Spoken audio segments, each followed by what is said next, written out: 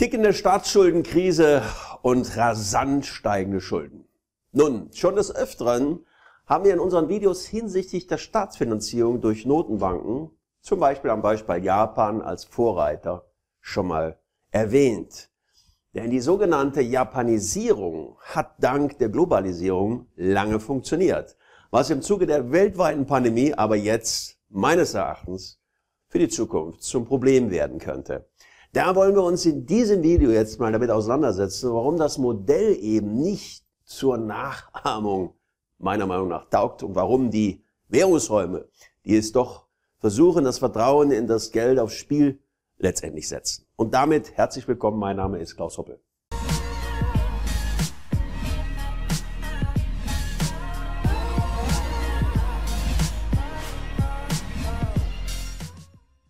Fakt ist, dass die Welt im Zuge der Corona-Krise vor der Gefahr einer Deflationsspirale steht.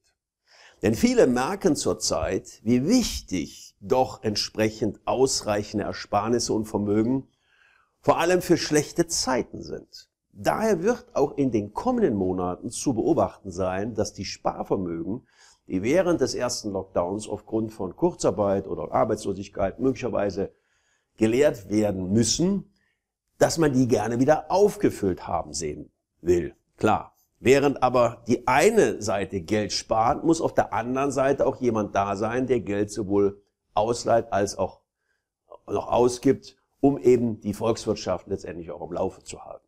Normalerweise übernimmt diese Aufgabe der Finanzsektor, der dafür sorgt, dass alle Ersparnisse zu verschiedenen Zinssätzen eben ausgeliehen oder ausgegeben werden und das oft mit Hilfe natürlich klar der Notenbanken.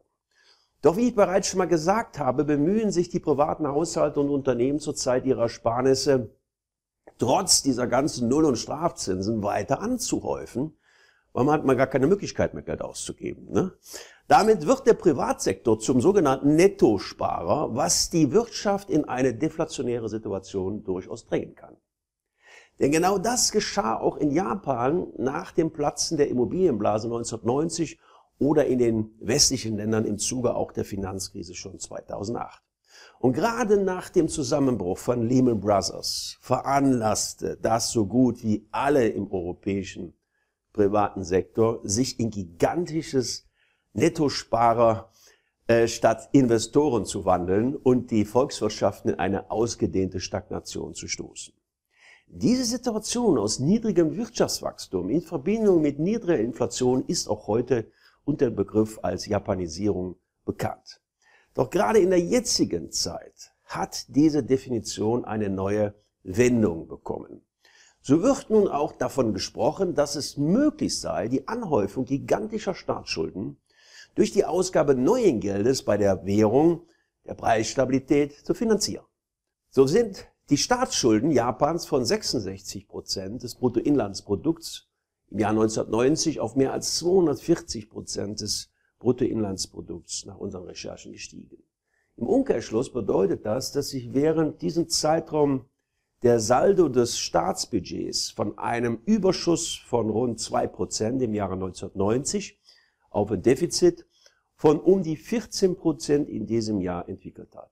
Und besonders in den letzten zehn Jahren wurde ein steigender Anteil der Staatsschuld eben durch Ankäufe auch entsprechender japanischer Notenbanken finanziert. Kein Wunder also, dass die heutzutage der Anteil der von der Bank von Japan gehaltenen Staatsanleihen bei immerhin rund 55 Prozent liegt. Dennoch blieb aber die Inflation von zuletzt 0 Prozent extrem niedrig. Stellt sich also doch die Frage, was die Welt noch davon abhalten könnte, dem Beispiel Japans nicht einfach Folge zu leisten und immer höhere Staatsschulden durch die Geldausgabe der Zentralbanken zu finanzieren. Warum dieses Modell bis dato so erfolgreich ist, wollen wir uns jetzt im Detail aber erst einmal etwas nochmal konkreter anschauen. Zum einen kam dem Land natürlich die zunehmende Globalisierung und der technische Fortschritt in den vergangenen Jahren zugute, wodurch die weltweite Inflationsrate von 26 Prozent im Jahre 1990 auf rund drei Prozent in diesem Jahr sank. Zum anderen hielt Japan die nominale Aufwertung des Yen unter der Inflation seiner Handelspartner im Zuge dessen die japanische Industrie wettbewerbsfähig bleiben konnte. Und zu guter Letzt steigerten eben jene Erwartungen des Yen und die Tatsache niedriger Inflation nicht nur die Konsumgüter, die Bereitschaft der wirtschaftlichen Akteure, Geld als Mittel zur Wertaufbewahrung letztendlich zu nutzen. Nein, vielmehr waren die Konsumentenpreise um nur 12 Prozent höher und die Preise für Aktien und Immobilien sogar um 12 Prozent beziehungsweise 24, 34 Prozent niedriger als noch im Jahr 1990. Nun, das japanische Modell ist also darauf ausgerichtet, dass die Erwartung für eine Inflation von Güter- und Vermögenspreisen ja nahe oder unter Null sind und die Aufwertung der Wechselkurse der Währung Geld als sicherstes Mittel zur Wertaufbewahrung letztendlich äh, erscheinen lässt. Nun, also, solange die Menschen im Glauben sind, dass sie für Geld ebenso viel oder mehr heimische oder ausländische Waren und Dienstleistungen eben oder auch Vermögenswerte erhalten können, wie im Tausch gegen Staatsanleihen, sehen sie keinen Unterschied zwischen diesen Punkten und sind deshalb bereit, auch entsprechend natürlich ihre Ersparnisse zu halten. Doch dieses Modell dürfte in der Zukunft schwerer umzusetzen sein, denn die Entwicklung der Globalisierung während der letzten Jahrzehnte wird wohl nach der Corona-Krise zurückgehen, so dass vielmehr mit einer Art Deglobalisierung durchaus auch zu rechnen ist. Dadurch wird der Inflationsdruck für die Konsumentenpreise durchaus auch zunehmen können. Denn die Vermögenspreise außerhalb Japans steigen schon seit längerem, was wir am Aktien- und auch Immobilienmarkt natürlich auch hierzulande natürlich ganz klar immer stärker beobachten können. Zudem dürfte die Vereinnahmung der Zentralbanken durch die Staaten als Finanzierungsmöglichkeit für ihre steigende Verschuldung das Vertrauen in die Zentralbanken als eigentlich unabhängige Institution die Kaufkraft des Geldes eigentlich geringer erscheinen lassen. Hiervor gilt es sich als Privatanleger, Selbstständiger und auch als Unternehmer mit seinem ersparten kleines oder großes Geld, also kleines oder großes Vermögen, zu schützen und besser definitiv aufzustellen. Dabei können Sie auch gerne natürlich, ich wiederhole mich da gerne schon mal, äh, den Expertenrat meines Teams oder mir einholen, denn wir arbeiten täglich mit Menschen zusammen, die ihre finanzielle Situation rund um den eigenen privaten Vermögensaufbau oder auch Vermögensschutz auf eine andere, bessere Perspektive stellen wollen. Denn Nullzinsen und Strafzinsen und was nicht alles bringt nichts für den Vermögensaufbau.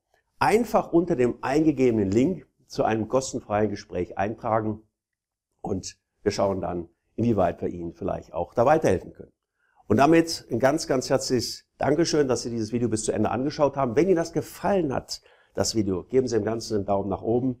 Abonnieren Sie unseren Kanal, falls Sie es zum ersten Mal hier sehen, dieses Video. Denn es ist immer wieder was dabei, was wir in der Welt der Finanzen ja gerne nach draußen bringen wollen. Denn eins ist auch klar. Wir haben die Pflicht, nicht nur für unser Geld zu arbeiten, wir haben genauso die Pflicht, dafür unser Geld besser arbeiten zu lassen. Bis dahin alles Gute, Ihr Klaus Hoppe.